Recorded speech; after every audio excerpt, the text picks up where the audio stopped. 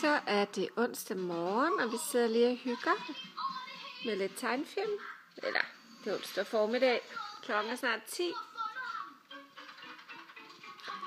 Og vi starter morgenen lidt stille og roligt, hvor vi ligger lidt med dynerne og hygger os. Og en ny dag starter, ikke også, Sofia? Er det en spændende tegnfilm?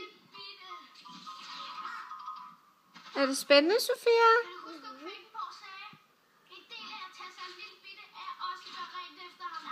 Hvor er det dejligt. Amalie siger også til mig, må jeg vil ikke starte i børnehave. Jeg kan godt lide at gå hjem hos dig. Men altså, det skal de nok på et tidspunkt i hvert fald. Men det er en hyggelig morgen at starte stille og roligt. Hun stresser jeg og dyner ind i stuen, og det kan vi godt lide. Amalie, er det en god tegnfilm? Mhm. Du også, en god tegnfilm? Hvorfor hen? Ja.